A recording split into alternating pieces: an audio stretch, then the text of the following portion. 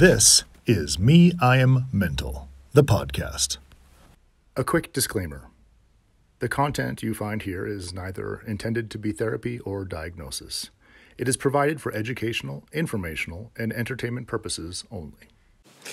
Ladies and gentlemen, welcome back to Me I'm Mental, the podcast. Um, we are still on set with Dr. Linda Nyamute. If you remember last time, we were discussing gender based violence. Um, I think it was an interesting and insightful conversation around GBV. Uh, we agreed that uh, there is need for more awareness raising and building, and everybody uh, needs to get a little more engaged so that we, uh, at a minimum, reduce the trauma associated with GBV and create a healthier society. Uh, today, we would like to focus uh, attention on something a little more, um, shall we say, critical and maybe um, a bit of a tearjerker, really, which is childhood trauma. Now, uh, my understanding of trauma is that it is not usually the thing, the event that you face or something that happens to you. It is how you react to that event. Um, that is uh, my understanding of what trauma is. But, Doctor, if I have missed it by a mile, you can correct me. We're in that space where we can, we will need to learn. Now, childhood trauma is um, is critical uh, because if a child is traumatized, it means that they're probably facing. Um, they're not living within a safe environment. They don't have all the tools they need by themselves to manage their own safety. They rely on others they probably don't know how to process their trauma and they are likely to grow up into very damaged adults. Uh, again, I am very roughly paraphrasing.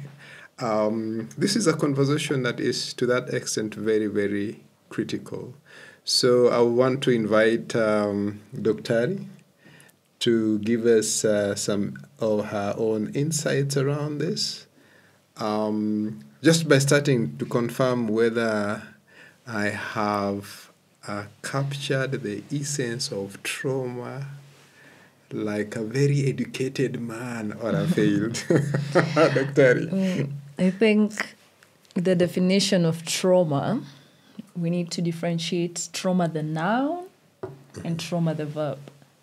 Uh, trauma the noun is now the more of the event okay. Trauma is could be the way we're talking about violence could be you've been beaten you've been verbally abused you've been uh, children a lot we have also neg- childhood neglect which can be neglect from f- basic needs or even emotional neglect. So trauma the noun and then now trauma the verb is now the experience you have. I feel traumatized, or this is traumatizing. It's hurting you. It's you know, it's it's it's causing some pain of some sort. So there's the noun. The event it can be a trauma. In terms of the noun, yeah, yeah. Um, like a car accident yes. is the event. Yes. Okay, but there are people who get out of the car uh, accident and they're perfectly right, and then there are people who will, for the next three years, be being able to get into a car because they are it, still traumatized. They're still traumatized. So that is the the verb. Uh, for the uninitiated, let me tell you, a noun is. Okay, we won't go there. Yes. an, an adverb is the verb that comes before the noun of the verb okay. of the. yes. no, no, we're not going we're to not that. Going to go there. Uh-huh. Yes. So um, you were telling us about trauma. Yes. So in a child. Uh, in children, trauma can be direct and indirect. Um, uh, the effects, I think we'll probably touch that about a bit later. But when you talk about direct trauma, it's what we know. You know, um, spare the rod and spoil the child. You know, um, you've beaten these kids to an extent where they're bleeding. They are, you know, their back is broken to an extent where you now you now have to to rush to accident and emergency because you've really hurt them, or they were going to school with a black eye and nondos on the forehead, you know. Um, so that's the physical trauma, the one you know, or actually sexual trauma as well. Um, but then there's also the psychological uh, aspect where uh, a parent can be uttering words that are very hurtful to the child.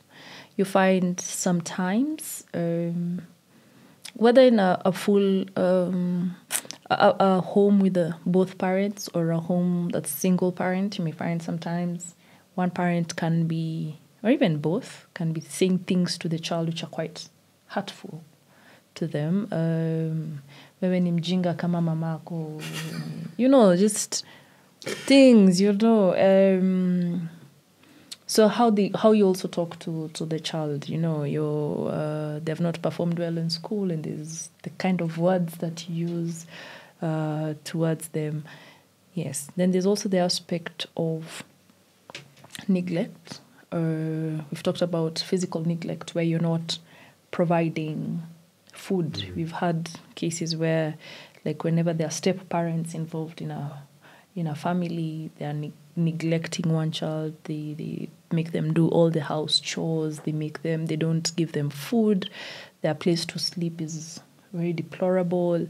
Uh, the the amount of housework they have to do is over the over the roof.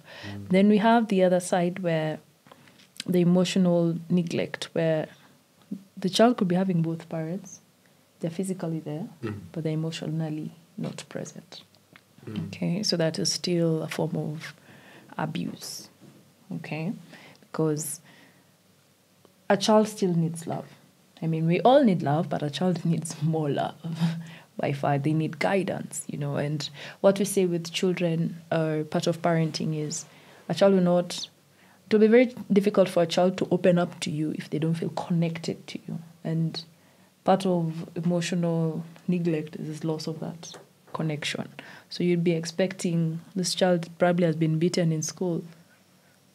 They'll not tell you because they don't feel connected to you. They don't feel like you care. They don't feel, they've never felt that. So um, neglect can also be emotional.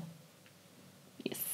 So, who typically is um, the most likely person to cause trauma to a child Uh, you mean parent or just generally? generally? The assumption here is that parents, but I, I see that very many people can traumatize a child. Um, I think that will depend from society to society, but I think the fellow children. Because um, I feel it's the fellow children will cause more trauma to the child. okay, School bullying and all that. but um, I'm seeing parents, um, fellow caregivers, teachers, a whole host of people can actually participate in traumatizing a child. True, true, true, true, true, Mm, true. mm. Okay, so um, how does trauma, the event, Mm-hmm. the noun, how does it, in what forms does it create trauma, the verb, in a child? How does it manifest typically? And Uh, why is it more so with a child than it is with an adult? Why is trauma? Why it manifests more so in a child? Yes, because why a child more vulnerable to certain things than adults? Yes. Uh, I feel it's children. One, they don't know, so they look up to you. You see, so if, as a parent, you're the authoritative figure. Okay, so this child looks up to you. Uh, when you shout at them, um, they don't know. I mean, this is what they they wouldn't know. But you're the authoritative figure, so they listen.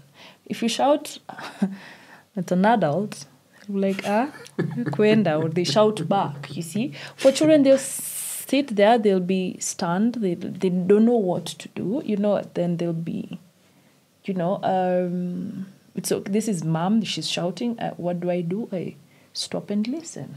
You know, or I cry, or that's all they can do. They can't fight back, basically. One, because you're the authoritative figure. And also, the other thing is, especially when it comes from home, this is supposed to be their safe space. Okay? So, where else would they go? You see, as an adult, you won't shout at me, me, I've left, I've gone, I've gone home, I've gone, I've gone wherever it is. If I'm going on a holiday, I've gone. So children are trapped. They are trapped, basically. That is, there, there is nowhere they can go. That is all they know. That is the space they know. Yeah. So they're a bit more vulnerable because one, they're helpless, and two, they wouldn't know fast. So some children have just grown up in a violent home where they're just shouted at, shouted at, shouted at. To them, that's the normal. You know, so do they know better? You see, so that is the environment they know. That is that is how they have grown up knowing life. That this is how is. Um, this is how people respond when when when you're angry. You you shout and you beat each other. And that's what they know. So, yeah, upbringing also matters. It reminds me of this video I think that was doing the rounds in uh, social me on social media of this. Uh, I think she's a house help, and she had this kid was probably like two, could barely speak, and was really smacking the child for not being able to to I don't know write or something. Mm. Mm, I think I saw something saw like that. Yeah. Mhm. Um, I couldn't bring myself to watch to watch that that, that video. Uh, and then of course there are all these incidents of house helps who are left with children. Um, and then and they you know um, they do all manner of crazy things to children. Uh, when, when, when, when the parent comes back home, um, the parent is is unable to understand why a child is is is withdrawn or it's it's very challenging to to get to know if a child is traumatized and and how to fix it. So how do you what are the telltale ti- signs of trauma in a child? Um, I think um, as a parent, seeing that you've been with this human from day zero of life, you know how they they act. You know how they respond when you call them. You know how they respond when they are upset or when they're disappointed. You know how they naturally are. Okay, so whenever you start seeing a change in behavior, they don't necessarily need to be talking, but you can tell this child is not it's not they're not excited to see me the way they normally would be excited they they they look very disinterested in things they like and children at any given point they love playing unless maybe when they're asleep. At any given point they love their toys they love playing. You see this child is no longer interested in playing. There's something wrong there. They, they are withdrawn. There's also something wrong there. They cry continuously. I'm talking for the ones who can't talk. Uh, they cry continuously, then you can see there's, there's something off there. If they have siblings, you find they isolate themselves from the rest of the siblings. They just want to keep to their corner or keep to their space. You know there's something wrong there. For the older children, um, they can probably tell you. Uh, again, as we said, they need to feel connected for them to be able to tell you anything. So, as long as you've created that space, you can talk to them and they can tell you, Auntie, does this thing or teacher so and so. I remember watching a video where this girl was saying she doesn't want to go to school because I think it was a teacher Lillian or something. I don't know what teacher Lillian was doing. I don't know, beats them or something because they have peed on themselves, something like the child will tell you, you know, as long as you've created that space where the child feels one, I feel safe. This is a person I can trust. They don't lash at me. They don't shout at me. And then when I tell them, or ever, or whenever I have a problem, this adult or authoritative figure sorts it out for me. But whenever a child has needs and you don't sort it out, they cry when they're hungry, you don't bother. Uh, they're in pain, you don't bother. So they grow up knowing that whenever I have a problem, this one will never sort out any of my needs. Even when they grow older, you're not someone they'll be going to whenever they have a problem. You probably need to probe and probe and probe. Uh, also, for the older children, another thing is you start noticing a dwindling school performance. Um, you may be told things like they sleep in class or uh, they just don't pay attention, they seem zoned out. Uh, you know that that there's something uh, wrong there. For those who've probably undergone sexual abuse, you you start noticing them having some adult-like behaviors. You know, um, maybe someone passes and they want to I don't know, use, use some words, but yeah, you start noticing them ha- uh, having some inappropriate age, in, uh, age inappropriate behaviors. You know, uh, when they draw, that's usually a good way of, of knowing as well, and which which we also use during uh, therapy and also to find out. Just ask them to draw. Uh, sometimes they may not be able to verbalize exactly what has happened to them but they'll draw for you. They draw for you. This is me here, and this is auntie beating me. You know, and if you see such, generally, maybe maybe not during that, but maybe that is what they draw every day, or maybe that's what they speak about, or they pick their dolls and they beat that doll and they beat it and they beat it, and you see, wewe skizi, and they're beating the doll and they're beating the doll. Where have they learned that behavior? They, it is probably from experience yeah. So also how they behave with their toys would be one good way of knowing mm. that yeah what what is going on in your child's life. I remember this time I was at uh, I'd gone to the garage, and as my car was being fixed by someone, uh, by the mechanic, there's a kid who was there. Um, a, a, girl, she's about two years old, uh, very friendly. She comes to me and she tells me, Sasa, uh, unataka nikupikie chakula? Then i say yes. Chakula gani?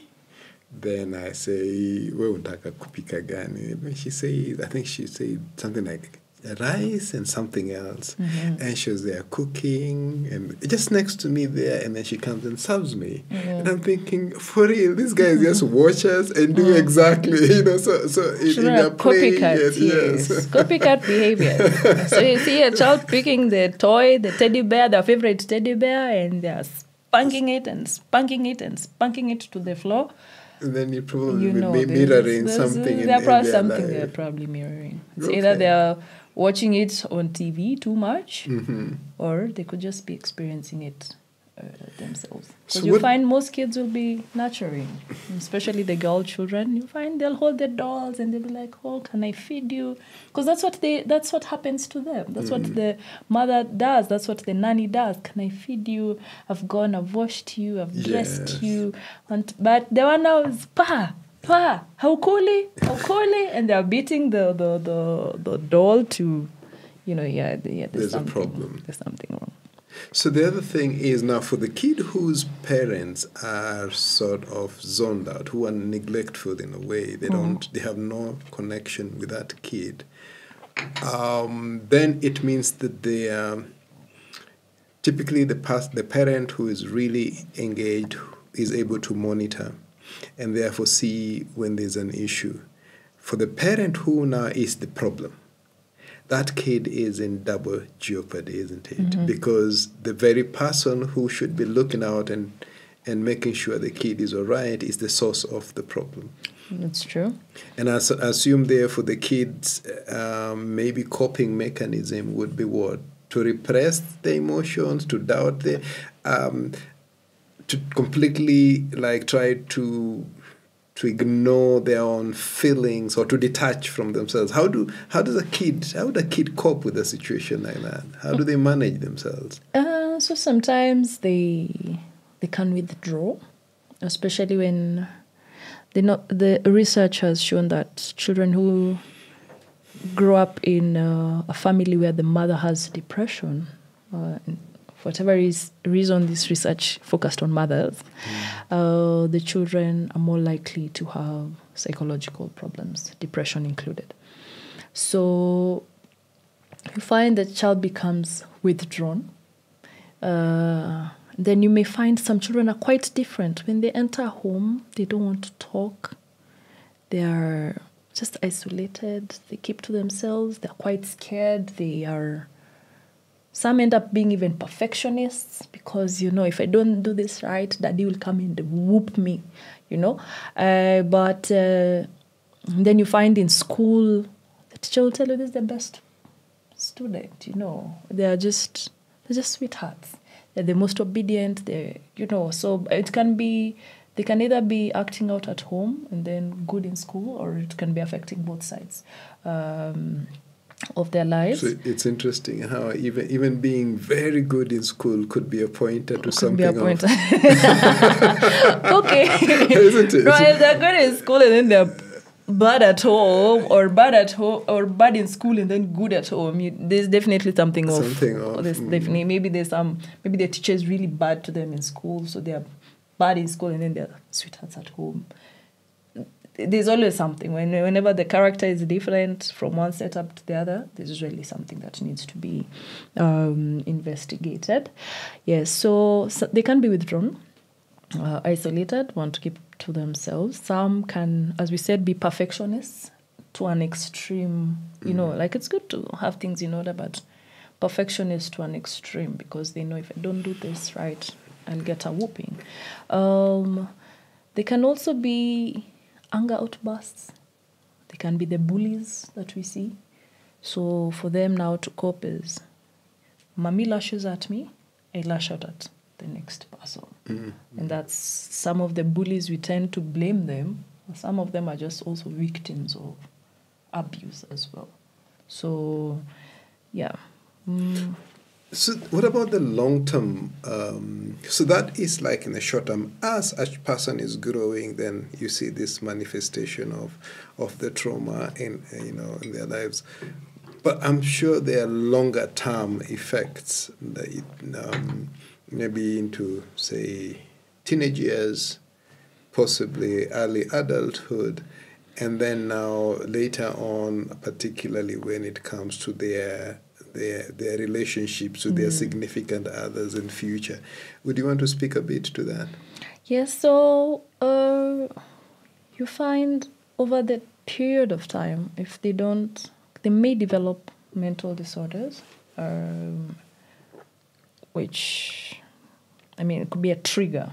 Um, not necessarily that they will develop, but it could be a trigger for them to develop uh, some mental disorders. Depression, we see it a lot, um, and self harming. And children who have really yeah, uh, done a lot of self harming. Um, the other thing is, you can find, you see, the time around teenagehood, early adulthood, it's a time of gender identity space. So they're trying to find themselves. In this space, they can find, because there's neglect at home, there's all sort of trauma at home, they'll end up in the space where they feel loved. Okay, and this could be a good space, it could be a bad space. They could find themselves in the wrong circle.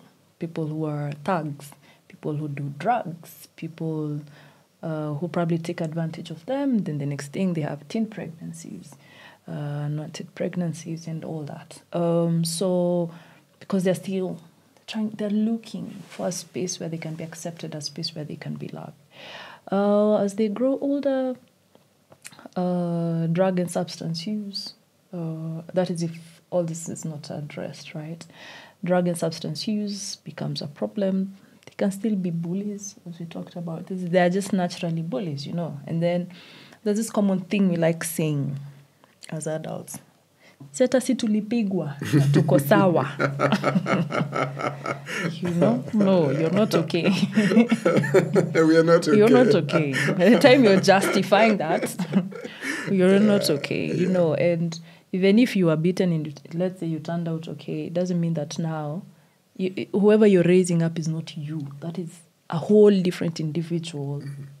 Afresh. That is not that is not you. That's not a mini you. Fine, they may look like you and all, but it's a whole person with their own uh, with their whole own personality, you know, and just because it worked out for you doesn't mean it will work out for them. And that's why you find children within the same environment will always turn out different because they're all different human beings, right? So, as adults uh, with severe trauma, you find also trauma that was not addressed, and especially the way we talked about neglect. And there's something we call attachment styles when children are small. So, if they have that attachment style where it was probably non existent, I would just Uh, like you, because that's a very fascinating thing. Because I know attachment style, people form healthy attachment during that, th- those very early childhood years, and they have crazy, crazy ramifications in their adult life. Maybe do you want to just spend a little time just you know expounding on that a bit? Yeah. Um, so for children, again, as we said, uh, the first bonds you make are with your caregiver, your guardian, your parent, whoever it is, but your caregiver will be the first bond that you make, right?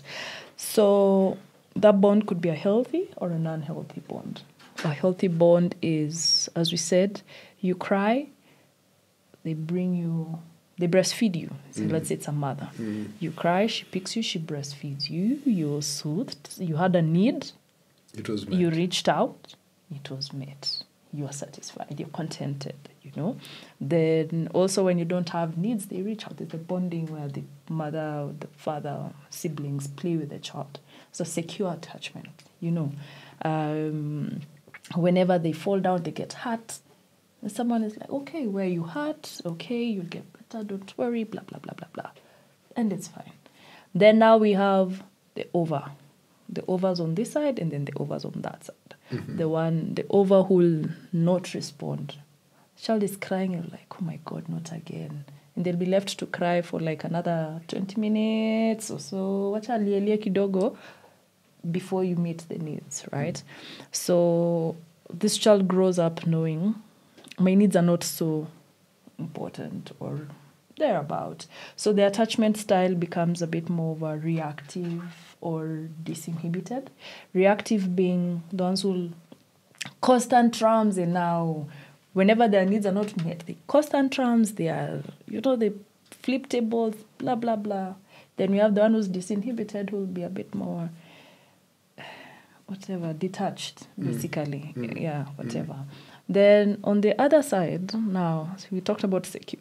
Then we have the other one who's overly protected, you know. Small thing, haha, small, ha, you know. eh, Helicopter parenting. you know, you Ye- like yes. literally here. And Yeah. that is equally as bad as the other one. Okay. Yeah.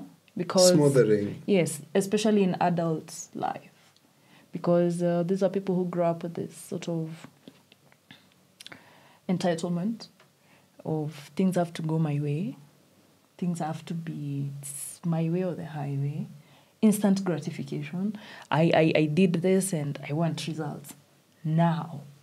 You know, give me this now. I mean, that's how they have grown up uh, knowing. I, I want yogurt, I'm getting yogurt now. There's no time for waiting. There's no, yeah. So um, you can see how. And then this other group will be. They don't want help from anyone. No one helps me anyway. Let me figure out life by myself. So you can see how this can be a challenge, especially when it comes to forming relationships. This one would be whatever I want, I want it now. Yes. You yes. know, and They things have to be yes, things have to be my end. You know, with intimate relationships, selfishness can never be uh, a part of the recipe. Otherwise, it's done. Then on this other hand, the one who doesn't even want to probably open, they are they are detached. They're detached from you. So they're they're here, but they're not they're not present. They're not they're not intimate. They, it's hard for them to form intimate bonds because do they how will they trust you? They don't trust people because there's no one to trust, or whoever they trusted ended up not fulfilling their needs or never meeting their needs. So they've never known what it feels like to trust. So attachment styles, yes, they do impact a lot in the adult life. Yeah, yeah. I, I think I think that that's that that is um, it's probably really fundamental for any parent or for any person in that, particularly those very early years, Yes. to understand how critical their behavior is. Because we assume that you, there are a lot of things you can do to a child at that time because they, they're, they're not talking or what, Mm-hmm. which has no real impact. But apparently, that's not the case. That's I think case. it has lifelong, uh, like, you Consequences. Know, co- consequences if you. And then I think a very critical period aside that childhood is this time preteen to teen years. yes. That's another very critical point because again, as we said, there's a lot of identity uh, and role role identity sort of crisis for some. So there's this confusion. That point, they need guidance. Okay, so if you're overly here, you're my handbag. Where I go, you go. You don't give them the space to to be independent, to you know make mistakes and come back home. And not I'm saying that they go, but They can explore. they can explore. knowing that they have a, they have safety they can Yes. they can go out there even if they make a mistake they can always have a place to retreat Yes, to yes, and yes, get yes, soothed and that sort of thing they have a base camp Yes, not soothed, but they can have a place to come back. I have made a mistake. Mm-hmm. I may not be soothed. Okay, there may be repercussions to it, but there's a place I can come back. You you you pointed out not soothed Yeah, Uh, not necessarily soothed. the soothing is is it is soothing like the equivalent of handbag it, Mm. it would, would it have that maybe that same effect Because it will feel like I've made a mistake. I go home, we downplay that mistake, and it's okay. It's okay. Uh, you did what? Oh, okay. You you you beat people over there outside, and then okay. okay ah, maybe they had a problem. You, don't know. People nowadays fight. No, it should be okay. Fine. Depending on what situation it is, you can come back home. There may be repercussions. There may be a punishment to do, but there's always. but this is home But there's always home. yes Yeah. yes yes we gotcha Mm. your hours We will beat you. but your hours Eh, naingia kule. yeah, I mean Nice. that creates a safe space for them to be able to, you know. So you want them to explore, not overly explore as well. Now where you're neglecting them, you go figure out life for yourself because that is also. There are parents who are, you find there are people who they have nice homes. Parent is there, mom is there, dad is there. They go to work, come back later in the evening. School fees is always paid. There's no day you'll ever be sent home from school. TV you want to watch, it's there. You have even your own TV in your bedroom if you want. But the emotional aspect for the parent and the guidance, this person goes out there to the world. Everything has always been served to them on the platter, you know. Um, they go, Dad, I need um, let's say an iPad tomorrow. Oh, okay. And you see a lot of parents who work a lot do uh, feel like okay. No, let me retake that statement. There are parents who feel like just providing. I've paid your fees. What do you need? A computer. I've bought you that. You need what? A phone. Okay, have it. That's not. And a lot of Are they- children will tell you that's not that's not enough. So they'd rather even not have that, but have you present.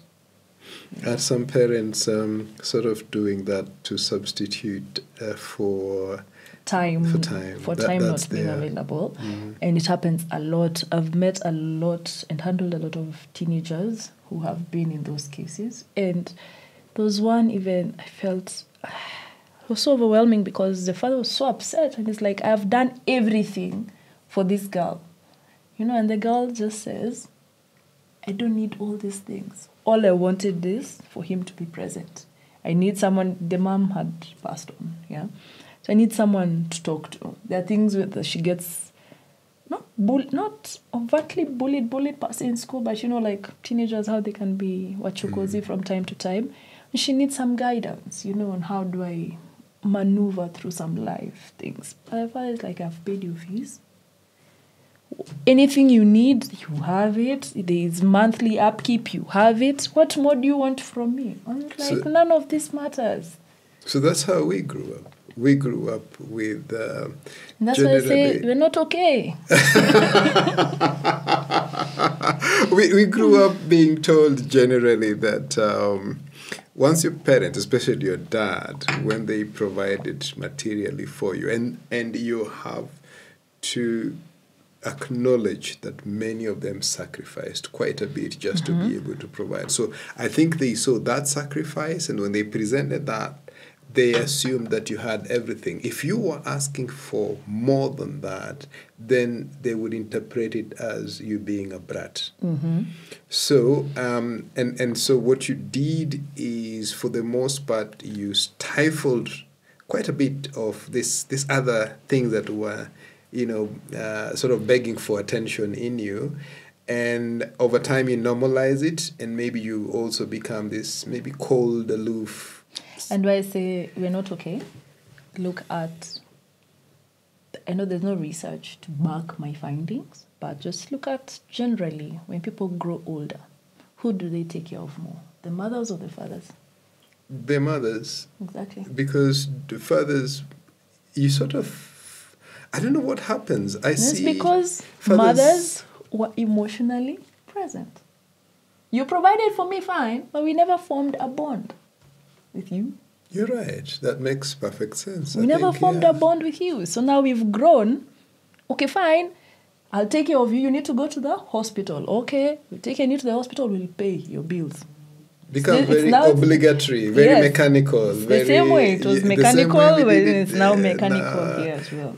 Yeah. Your mom is sick, everyone travels from Nairobi and goes to Shags. We have to see mom. Dad is sick, okay, ebu changeni pesa. We need to take dad to hospital. Okay. Amepeleka hospitali? Yes, okay. Then from time to time, anaendeleaje? Anaendeleaje? Do they push further? Do they go that step further? Why is Mother's Day more celebrated? Why is than Father's Day? I just think women make a lot more noise than men. I'm kidding. I don't want to cause a, Women also celebrate themselves on Father's Day. I don't want to cause a storm around that. But but yes, I, I think I think that um, I also just generally would say um, um, It's not we- mechanical. I've given you, I've given you, I've given you. It's fine. and you pass it on to your child because at some point, it, like in my case, um, I don't even think my dad was doing that deliberately, but he wanted to for us to be toughened up. Okay, uh, I think in the process, there are like like like acres and acres of our our our inner territory which are are fallow. You never cultivated them. You mm, just mm. so you just did the mechanical stuff. Then you become this adult dude, and you you have children, and you you also would probably just be able to to give from what you understand, and so you repeat the same. Mm-hmm. And But again, as I said, it didn't turn out okay because what happens? We when when dad needs help. uh, okay, okay. How much does he need? Okay, and it becomes very. So that's that's what's going to happen to me, right? Not my words.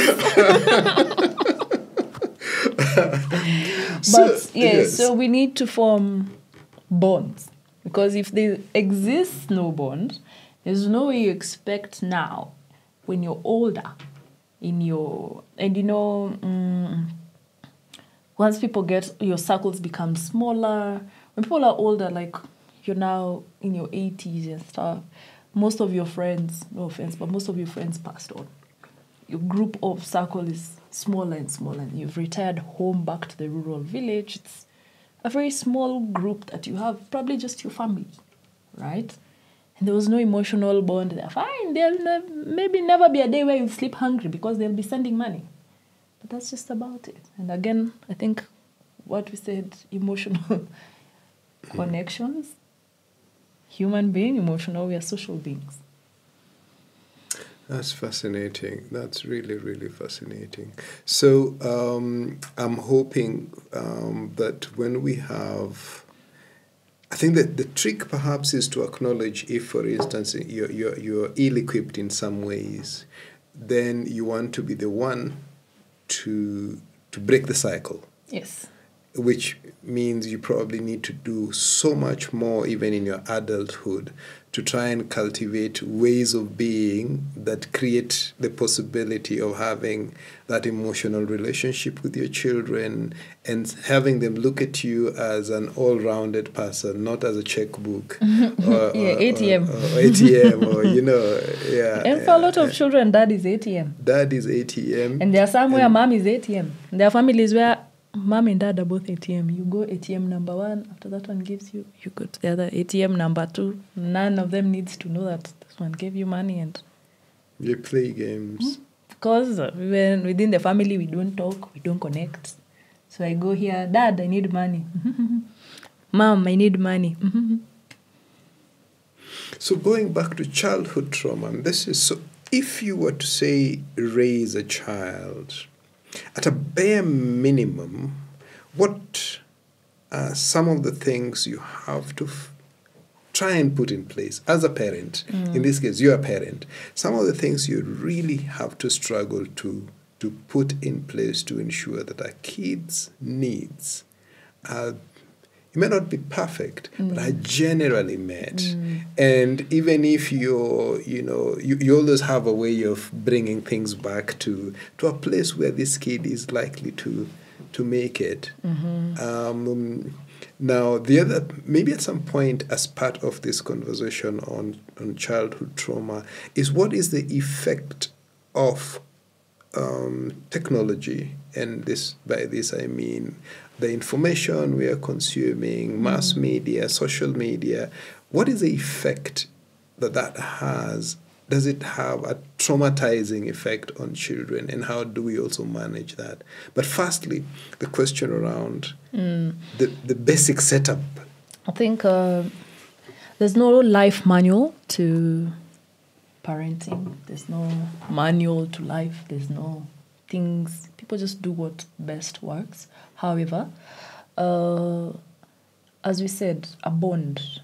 The bond the first, a child, the first bond that they make will sort of influence every other bond they make.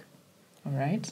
So, uh, providing that secure bond for them, not being overly Kibeti. kibeti, not being overly in their space, giving them room to explore, but also protecting that space of how much they can explore, but also giving them the space to know they can always come back after exploring. It's like children in the park. Okay, you've taken them to play. They know this is the only place. They can only play here. Okay, but they can play everywhere around here. And then when they are tired or they want to know, they come back to you, right? It's the same concept. Give them space. They knew. Uh, they also know they can always come back. So the bond, bonds, bonds, bonds cannot be, have to be well put in place. The other thing is discipline. Uh, I, I like that s- statement for spare the rod and spoil the child. I don't know why. Uh, because comes the question where do you draw the line, right, between discipline and abuse? Um, so you want to discipline your child, but you don't want it to be abuse at the end of the day. Um, the question on whether caning should be done or not uh, is not a topic I'll go into. However, however you're disciplining your child should be to the extent that it does not cause trauma to them. And trauma, I don't mean physical trauma per se, but also psychological trauma. Mm. Because there's how we discipline children, and it's so traumatizing that, fine, they may not repeat that mistake again, but you've also interfered with their self confidence, their self esteem. You've made them feel like now there's nothing else they can do, and they withdraw from exploring at all. Absolutely. Yeah. Yeah, or you go and discipline this child, and now now they want to do exactly that. So that now yeah tuone when you chape tuone you see? So it has the discipline of whatever you do has to be uh, different children. You'll find even within the same home different children will respond differently to different disciplinary measures. So it's also important to understand your child there are ch- children who probably taking away a gadget or uh, a play toy or whatever that will That's enough. that's enough. There are children who sit on the corner, especially the ones who love talking and socializing. You're doing that for 10 minutes. That's just like, oh my God, when does this, This is- end? You know, like this is just, oh my God, oh my God. You've not traumatized them per se, uh, but you know, because you've taken out what they like doing. And it's always important before disciplining the child to explain why. Oh, what is it that you did? I I I broke I jumped on the chair and you said I don't jump on chairs, okay? What did we say about jumping on chairs? It is bad, blah blah blah blah blah. Didn't we warn you? Yes. So what and sometimes it's best it helps when they're they are also involved in the punishment. So what did what how do I punish you? Or what do we what did we say we'll do punishment? Or what how do I punish you basically? And they'll tell you uh, take this this this. So they are also involved in their punishment and they also feel response that they now know why am I being punished? I'm being punished for one two three. And um, uh, next time I should not do it. So sometimes negative punishment, which is that, uh, could be better than positive punishment, which is the literal caning and stuff. However, it's good to understand your child, uh, different children, different needs. So discipline has to also be there. They need to know these are the rules of this house. This is what we accept, this we do not accept at all. And once they know that, it's much easier to know I did this. They'll come home and sometimes they'll even report themselves. I did, da, da, da, da, da, da, da." okay, and then they'll tell you, I've gone to my corner. you know, because they already know Yes. this yes, was uh, said, this is illegal, so and I'm already, I'm already ready for my cause and effect, and sort of they, they begin to understand how life works. Yes, yes. You do something, you go, yes, then this is.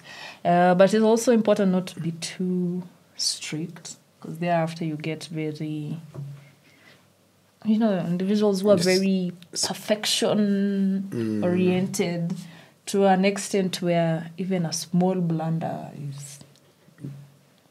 They overreact when they're adults, you know. Sometimes you also give children room to make mistakes. Uh, some, not all mistakes should be punished. Of course, now you weigh, basically. But bonds and discipline, uh, very important. So you need to know where do you balance love and discipline. Okay, okay. Social, I mean technology, and and its contribution in childhood trauma. hmm In this day and age, there's so much out there. Matters uh, internet. There was a time there was this internet craze about. I think there was one for I don't know what, what was it called, Blue Whale or something. I can't quite remember, but Or was it this thing where you would play and then there would be some instructions that, would, that even lead to suicide? Yes, yes, something self-harm and Mm, self-harm suicide and things like that. Mm. So uh, we're in an age where you need to be probably not control, but you need to be aware of what your children are consuming on the internet. Uh, a lot of internet platforms have given up. YouTube, for example, has given you the space for child parental something. Like you can yeah you can put uh, such that they only watch things which are within their age. Sorry um and then i think there are platforms there are platforms which you should just not allow your children to be on until maybe they're much older. Um things where they get i mean at the end of the day, what what what are they benefiting from being on that platform? TikTok, let's say, Instagram, let's say, an an 11 year old, 10 year old on, on TikTok. I see some of them doing very weird videos. I'm like, you're just a child. You're supposed to be playing with mud and eating grass. You know, like chamama chababa. That's what we were doing at your age. Yes, you know, now I know the games you Brikicho and whatnot. What's, that's what you're supposed to be doing at this age. You go play jump rope, kati, and all that. What are you doing on TikTok? Hmm. You know, um, and they make videos, they get bullied. Oh, your nose is so flat. You know, and you're wondering, why? So, um, even as we give children phones and gadgets, uh, probably you need to time how much time they spend on that. And you need to be aware, they need to tell you, or you need to be aware of what platforms are they going to. Um, YouTube has a way of storing history, so you can just allow them to, and then you look at what it is they're looking at. You can have a family account, and that is what is in the is in the gadget, such that even if you're not present, you're still able to see what is being viewed uh, without them necessarily knowing that you're viewing, so that they also don't feel like you're spying on them too much. Um, that would be a good way of, you need to know what they're consuming, and there are some where you just need to completely not. I feel like for 10 year olds, 11 year olds, 12 year olds, why do they need to be on platforms? Why do I, why, why, but nowadays, even infants on Facebook with their own pages. But uh, why would a 12 year old need a Facebook page? because that, that exposure to a whole world of um, if they are probably their own age mates like you say they might be bullied but there are also creeps out there Yes. and yes. and also there's some content which um, I suppose that's why TV in terms of ratings Yes. uh, is also critical because um, I remember there was a time I watched this. Uh, I didn't. I, I happened to just log uh, go, go onto my phone. I went onto WhatsApp, and then there was this video. And when I clicked on it, I just saw a video of a girl being murdered. It was very, it was very, very visceral because it hmm. was right there. Hmm. And I think it took me about three or four days to just get over that hmm. that that that image, you know. Mm-hmm. Um, and, and and even up to now, I think whenever I think about it, it's very very. And so I can imagine your child Opening that. stumbling onto that and what. at- And, and, and what it would do to them, I think that's that's incredible trauma, isn't I think it? there was a time also on Facebook. I don't know what was going on, or maybe it was just my group of friends, but I'm sure this went on for a while. So, sometime last year, if I'm not wrong, mm-hmm. there was a weird, I don't know if it was a virus or something, but, and I don't know why people were clicking on it. But it's like you have been tagged with you and 99 others. And anytime you'd see you've been tagged with you and 99 others, you know it's those, the, there were pornographic videos. Mm. I assume because of the title. Me, I never clicked on any one of them because I was like, hey, and then it starts showing up on all my platforms. so whenever you'd see you've been Yes. tagged with you and 99 others, you just, oh my God. And it was, it went on for like a whole month. And I'm like, why do people keep clicking on these uh, sites? But I, I wouldn't know whether there was actually any visual or kind, what kind of content was there, but I'm assuming from the captions that were there, if your teenager is the one who's been tagged with those 99 Then others, others, what what what happens? when they get to stumble upon you, you see they get exposed to information before you have the chance to actually talk to them about maybe sex education and things like that. So uh, you need to know i feel like some platforms are just out until a certain age what is the importance of them being i think that is the first question you need to ask. What is the import what value does it add you being on this platform? What value does it add you having a phone? What value do you need it? As in rather than everyone has it everyone is doing it you need to teach your child also peer pressure not to conform to and the minute you conform to peer pressure you teach them that they also need to go with the flow and you're teaching them that moving with peer pressure is mm. okay so that is and that That is, is what also- they'll be doing. Mm-hmm. So and so has bought bought a phone, the latest phone. That is what they want to do because that is what you've taught them. Everyone is in my class is on Twitter. I have to be on Twitter. That is exactly what you've taught them. You see, and then they get there and it's problems. Mm.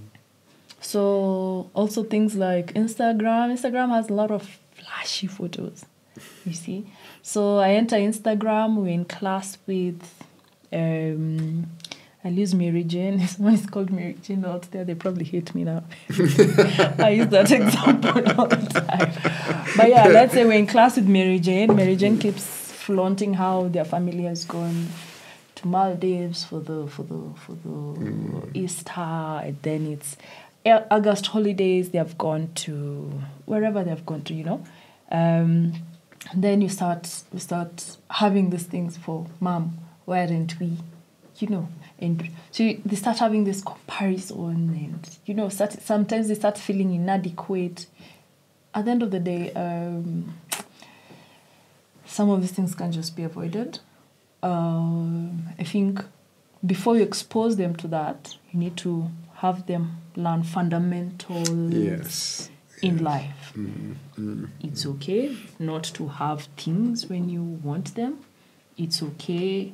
Uh, sometimes you'll have more things than others because sometimes some children also feel guilty uh, when some when they have and others don't. Mm. Yeah, and some feel bad when everyone else has and they don't, and they start feeling, you know, inadequate. Mm. So also teaching them all these fundamentals. You know, there are people who will be much richer than us, and that's okay. There are people who will be poorer than us, and that's okay. That's how life is. You know. Uh, you teach them all. Sometimes these people are putting out a fake lifestyle, so that they know, Mm. so that by the time they're When they're getting to out it, there, yes. they already have their fundament. They have their basics such that anything can come. I can decide what to do with it, but I already have the know-how of either how to deal with it or about this information. If it's sex education, they already know. You've already taught them so, such that by the time they're being teenagers, their hormones are starting to, you Mm, know, starting to want to explore, or they open Facebook and there's someone who's, you know, um, really on their case, maybe much older, who knows, I can take advantage of. They already know. Mom hmm. said this, dad said this, this is wrong, da da da da da. And whenever they are faced with an, a situation out there, they can come and tell you, you told me when someone says this, I should say this. But then I found someone who said this. What do I do? You know, mm-hmm. co- but mm-hmm. because you've already set that base for them to know this is right, this is wrong. Ideally, I mean, we said there's no manual, but there are those. So it's a more morals you want to- sustainable way of because you cannot anticipate every situation. Yes. Um, You can't control you what can't they're control what they're to. being exposed to. So the thing is how to they navigate that space is is, is Yes. what's and then that that that um, uh, sort of um, hotline like they can always get back you back um, to, to you in case of an emergency Yes. to to to to clarify a few things. Yes, yes, yes. It's always very important. Okay. Now, I wanted to flip this question uh, from the child and look at an adult who suffered childhood trauma and is unaware that they're acting out the, the trauma of childhood. And how do they, what would you advise a person who, to do when, or I suppose, because for, for the most part, many of us carry bits of trauma mm, with us. Mm-hmm, mm-hmm. But I suppose childhood trauma, especially when it's sig- severe, can be very um, impairing in future mm-hmm, life. Suppose you you get to that point where you recognize that whatever is happening to you could be as a result of your childhood. How do you manage? What what would you advise this person to do? Um, so there's a few who would actually recognize that it's what happened to me, especially when there were significant traumas, things to do with maybe sexual abuse, rape. Those ones usually know, you know, it's because of what happened to me. Maybe that's why I'm having difficulty. Um, with attachments, trusting people because of that. Then there are those the ones you said small, small, and maybe not very obvious sort of trauma. Many times those ones will not present directly. You know, it will be something else. And then now when you sit in uh, during the interview, you know, uh, consultation rather, maybe they come in with depression. They feel like there's nothing fulfilling in life anymore. They feel like they're just low for whatever reason, or they have difficulty with relationships and they don't know why, mm. you know, or they have difficulty letting go of people whenever there's a breakup. They don't know why, you know. So now they may not be able to know that it's these childhood traumas that cause, and it happens a lot. We get patients who come in for whatever the reason, and then things come. There was this things that happened when you were younger, and then they were unresolved, and now this is now where we are at. Okay, so sometimes sitting in and looking at some of the behaviors that we have, um, some people are able to do it by themselves. A lot of people need some professional guidance to it. Yeah, but as we said, broken children become broken adults. And uh, of course, now broken adults will now end up raising broken children. Children, the cycle And the cycle continues. So, what sort, sort of help should should one seek? Um, I think Bearing in mind as well that especially professional help for many of us is not um, available. Just your numbers as as professionals in the mental health space is very low. Secondly, the the cost is sometimes prohibitive. Um, so um, if if somebody was to try and seek some intervention um, within those constraints, what? So, yes, our numbers are not that, but it depends on what numbers. If you're looking for a psychologist, I think those ones are quite, uh, quite many. We're just not aware, Okay. but they are there. Mhm. All right. Uh, numbers of psychiatrists are also increasing, so very soon we'll stop that narrative. Okay. I had I had Dr. Chitai say the same thing. Uh, Yeah. It's, it's very exciting. Yes. Uh, Yes, so very soon we'll stop that narrative. Um, however, there are helplines which are there for people to, which some are free. Uh, Red Cross, there's um, Samaritan, there's some national hotlines for different things, like the one we gave for GBV, this one we gave for, uh, for child abuse, I think it's 1196 for GBV, as we said, is 1195. Red Cross should be 1199. Uh, you can just call in and just talk to someone if you feel like you want to talk to someone. Um, it would be difficult to give a one f- one shoe fits all mm. sort of mm. approach to people because again, as I said, different people react differently. So sometimes you can give an approach and then it ends up worsening the situation for someone else and works perfectly for someone else. So seeking professional advice, especially when you're not sure of what to do. Mm. And sometimes part of what we call introspection and self-awareness is to talk to people and just ask them what they think about you and just get their perspective. If you talk to fa- family member number one, family member number two, friend number one, friend number two, and they seem to say the same things about you. What don't you like about me? What do you think are my weaknesses? Or what can I improve?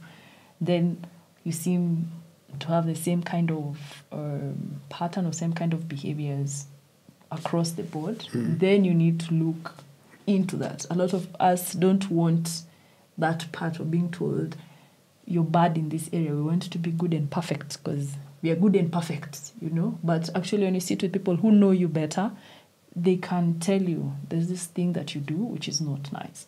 Then now maybe you can look at those behaviors. Do they have any background towards uh, your childhood or your growing up, your upbringing, and then now you're able now to look. Did I have any trauma? What was it? Again, as I said, sometimes it's usually a bit difficult to do it by yourself, but for those who can, Yeah, yeah. So the best approach would probably be if you can access professional Yes. uh, Yes. uh, help. Because you see, the problem with childhood trauma into adulthood, becomes complex. It's, It's now very become complex, isn't it? Yes. Sometimes we can't tell that some behaviors have been attributed to this Mm. because over time, your brain, your character has changed Mm. to accommodate that, you know, and sometimes in negative ways. So you may not. It's probably can- camouflaged to something else. Yeah, someone has to be the one to actually be able Point to point it out and yes, break yes. it down for you. I, I, I, I, I, I know of a word. I'm very proud to know this word. Preverbal.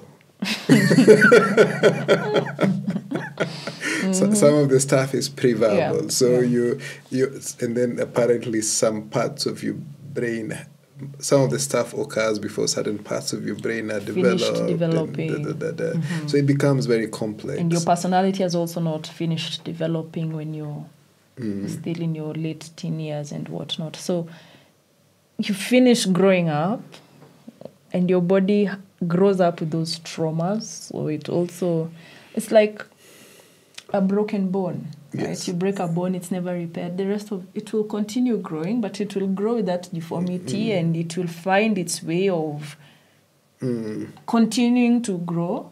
If this is never repaired, it will either stunt or something, but your body will just find a Just- way of, just- of, of yes. dealing with it. Mm. Yeah, which is the same thing. So sometimes you may not be able to tell that this actually behavior is stemming from my childhood. Sometimes you may, but yeah, a lot of times the complex, it becomes more complex as you grow um, older.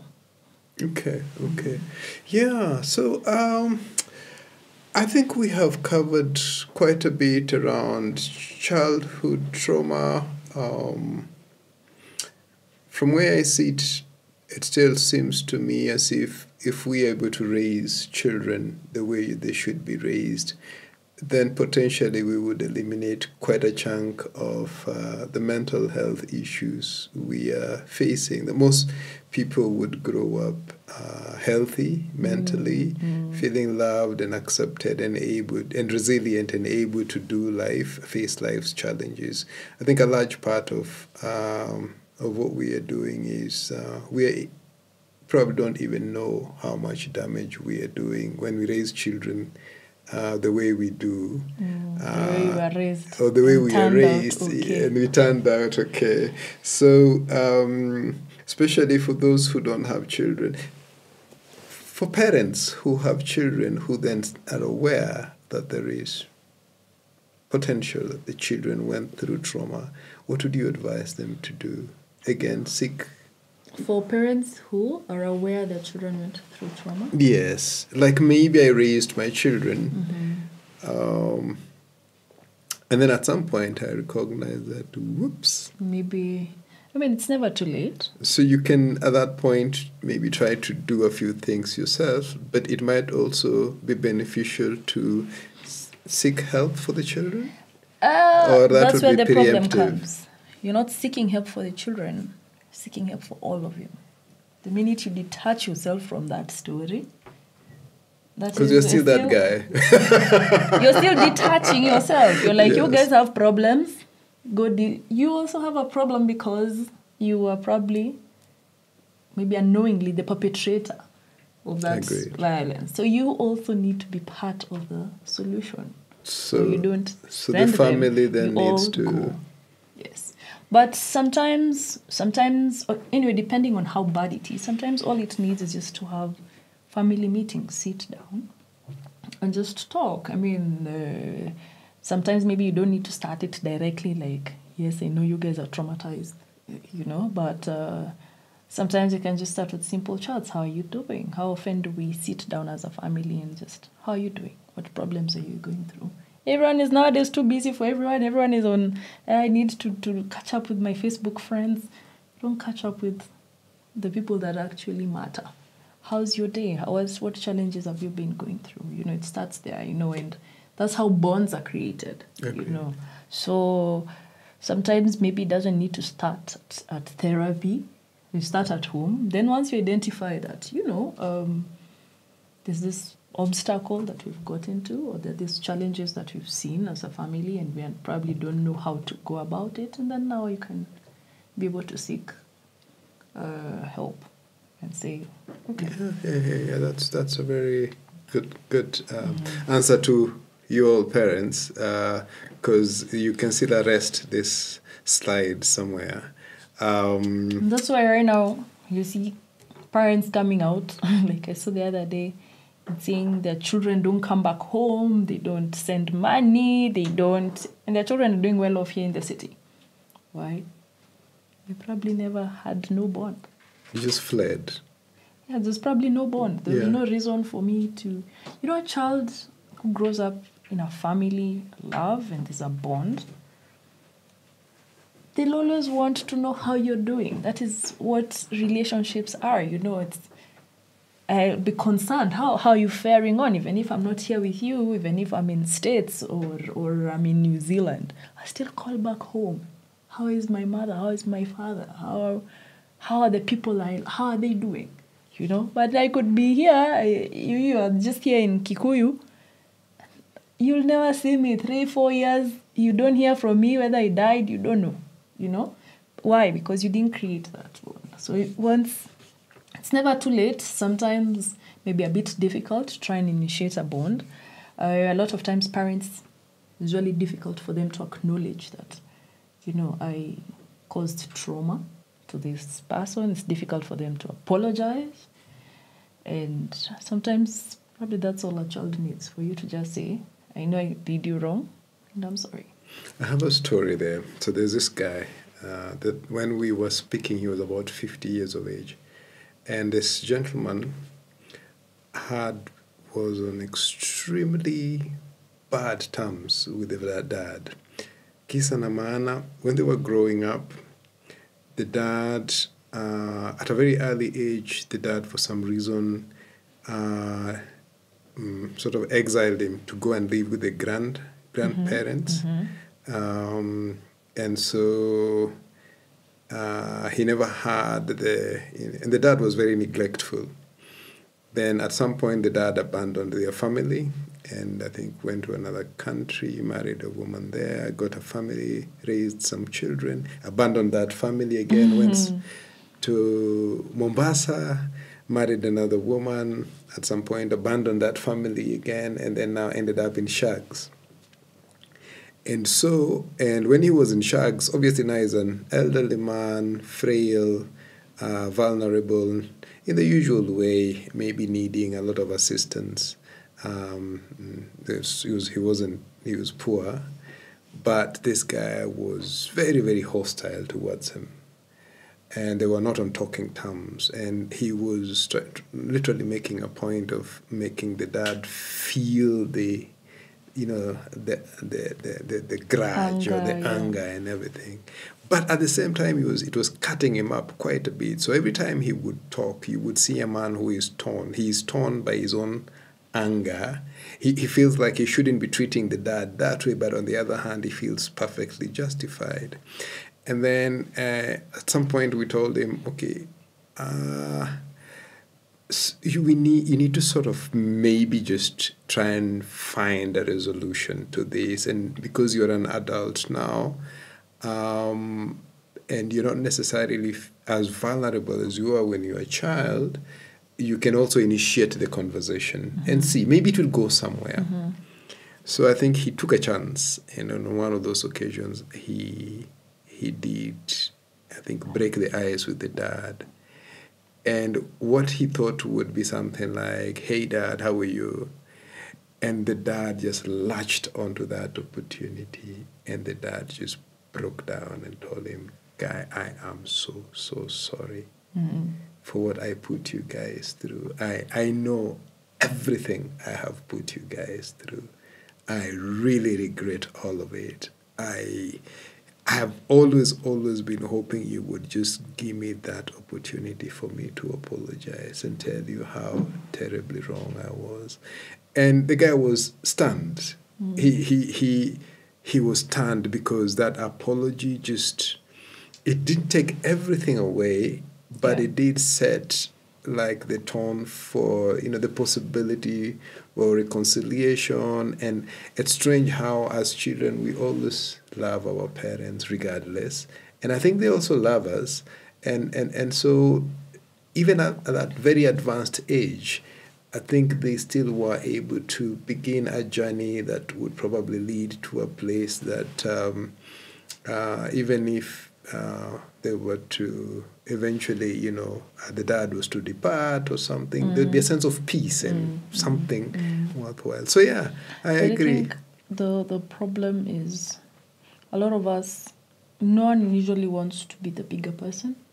Yeah. Everyone wants the parent wants to be me. Apologize to a child. Yes. You know, and the child is like me. There's no way they're the ones who hurt me. Yeah. Why would I be the one to start that conversation? You yeah. know. So uh, I think sometimes just allowing yourself to be the bigger person, which mm. sometimes so, so may feel like you're, you're demeaning yourself, yes. but you're actually being the bigger person in that in that space. And sometimes even, I mean, as you said, a lot of our parents brought us the way they were brought up. Sometimes they don't even know. Yeah, it wasn't. They were not deliberate. Yeah, they're, they're not, not deliberate. Then they did what you. they know best. mm they are probably not even aware of what the they damage. Did wrong, yes, you know, yes. I hear, I see everywhere nowadays. They say uh, toxic parents, toxic families, toxic what. We can always try and start somewhere. Mm-hmm. Because at the end of the day, I mean, family is family is still the fundamental. Social unit. That's that gives you, for the most part, that that's what gives you the shelter and the sort of sanctuary you need to be you. Yeah. Uh, the launching pad, so to speak. And I think also for your own peace, because mm. you see, as an adult, just carrying these grudges and carrying these grudges and carrying this, it's doing you more. You're carrying burdens, and burdens and burdens over the year, and sometimes they just accumulating. You're accumulating accumulating accumulating. You you wonder why you wake up every day just feeling tired. Every day you're just feeling exhausted you're trying this relationship we may pick umepigwa character development. You're trying this it's not. Because sometimes you've carried so much baggage that you know you could have let go of by just having that one conversation you know and just start somewhere you know sometimes you have excuses. You're with you try and start a relationship uh, and then you say oh i grew up in a toxic home and now everything is just you wonder why you can't just be a good person to people who are good to you you know? Why? Because you've not let go of this trauma that that that that was inflicted upon you. Yeah so um just just on that point, I think the thing that also I think many people fear and sometimes legitimately, and which might seem like the reason they are hanging on to onto their grudges is the lack of safety or, or or sense of safety that would come with maybe you trying to be the the bigger person and the other people actually thinking that now they you're justifying yourself in as as in they were right all along and you you are the problem. You know it, it's like you you're reaching out but you validate their sense of uh, because there's also that weird dynamic uh, where sometimes you you thought that what what it would what this would result in doesn't. is, is a, a rapprochement mm-hmm. and th- that risk is is i think one of the biggest but fears people have. Um, not not not in, in any way justifying the mm. why people shouldn't try, mm. but I think that um, that that if if if you step out and you're also aware of the potential for it not necessarily panning out the way you are, and you sort of make peace with that, you know. But here's the thing, mm. um, and what we say about that and many other things, you'll never know if you never try, mm. right? And you mm. keep living in this space. It's even worse. You keep living in this space of anxiety, of anxiety, uncertainty. I wouldn't know which word, But you keep living in that space for will it be okay? Will it not be okay? Should I? Should I? So that keeps still it still keeps It's- eating you up. You'd rather just try. If it doesn't work out, you'll know, you've made peace with yourself. I tried. I did my bit. I did my I, I brought this thing to to a head so that things could be resolved. They weren't. Mm-hmm. And they weren't. It's okay. I can I have my peace. I agree. rather than sitting there and they're like, huh. And sometimes vulnerability is all it takes. I mean, in relationships, whichever relationship, whether it's family, parent to child, whatever, vulnerability has to be there. You can't build a legit relationship without vulnerability. And the fear of I have to look like the bigger person, or I look like I look like a simp, I look like I didn't know, I look it's just just be vulnerable. In that space and time, you don't know what can happen, you don't know how they'll respond, and it's okay. Sit in that space of vulner- being vulnerable. A lot of us don't like being vulnerable. It's a very scary place because what can happen to me, what can happen to my reputation, what can happen to my image, you know, what can happen to. There's a lot of what can happen to, but you never know. Vulnerability in any relationship is fundamental. Thank you. I think on that note, um, I think that's on that note we bring. You look like you're really close. introspecting. Yes, I am.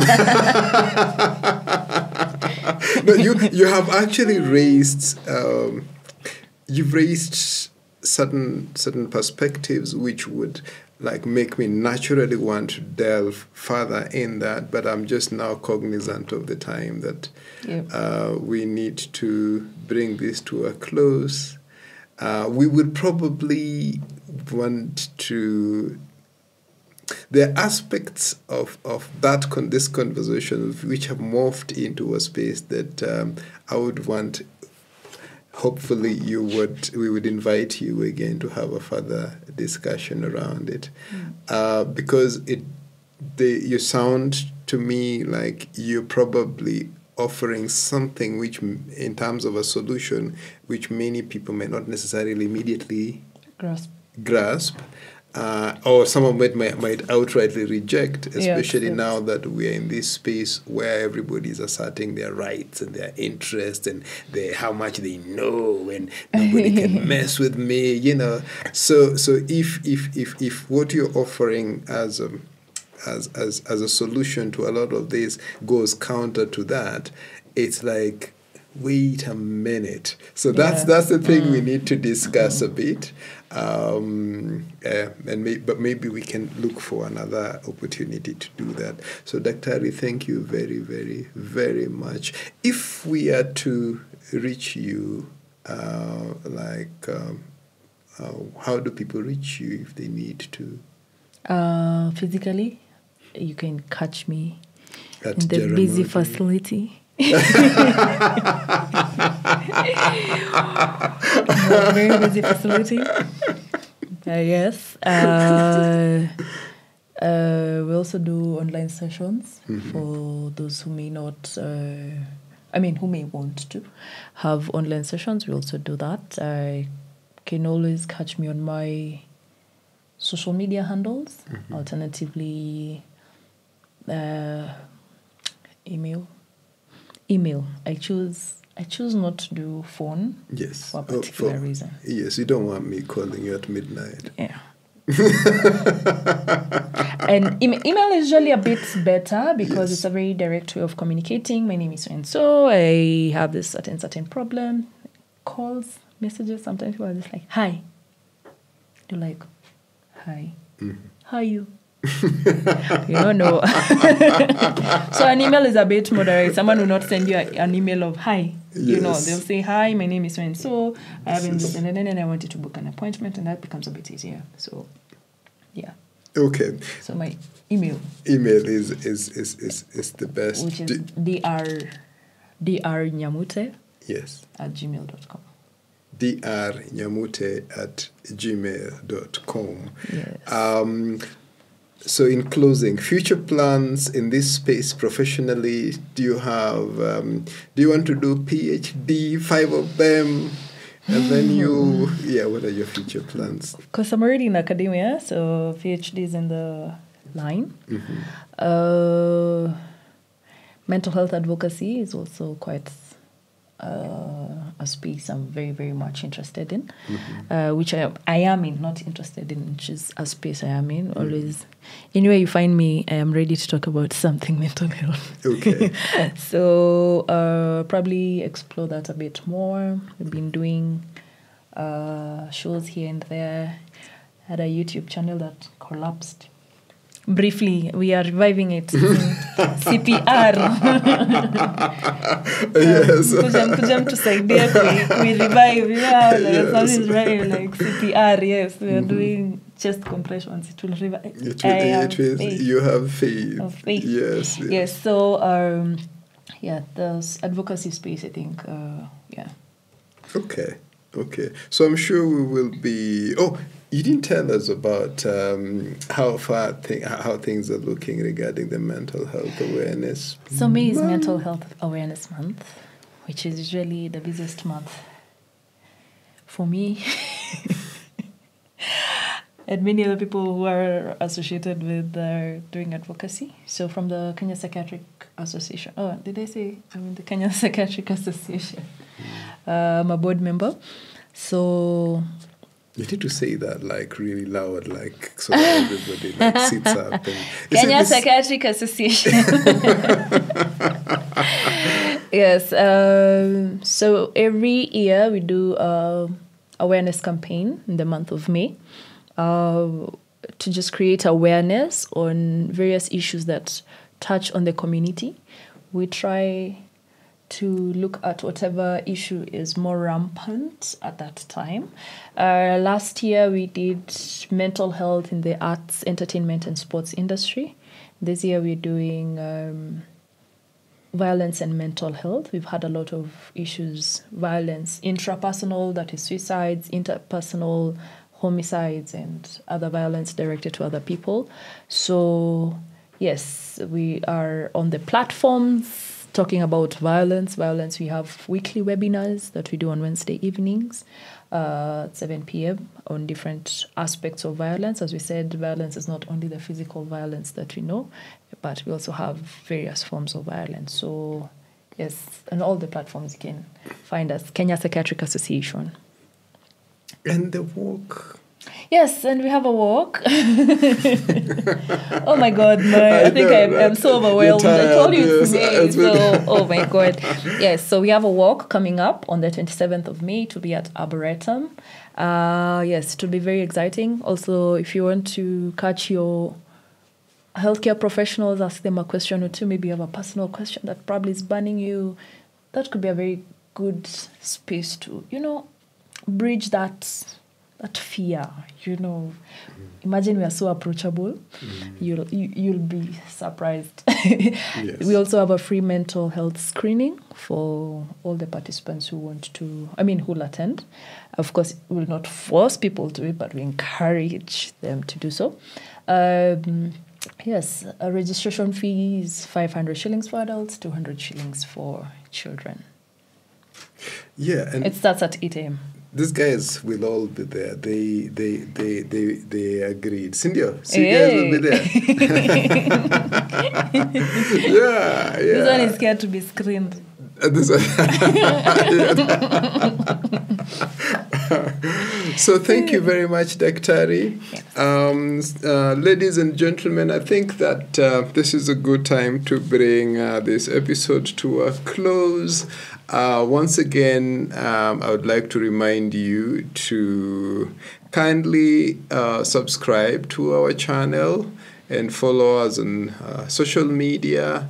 Um, keep us engaged. Let us do the work of normalizing conversations around mental health. And mental health is a positive thing. Mental health is not mental illness. And that's what we'd like to do. We'd like to keep as many of us mentally healthy and also provide support for those who are um, facing any mental health challenges, including mental health illness. Uh, the more people know about mental health, the more we normalize these conversations, the better society will become, and hopefully, the more fulfilled we will all feel. Um, thank you very, very much for uh, listening to us. Uh, and Dr. once again, thank you very, very much for showing up uh, on uh, to to share with us your views and insights. Um, until we meet again, my name is Charles Adede, and this is Me I Am Mental, the podcast where we discuss all things mental. Bye bye.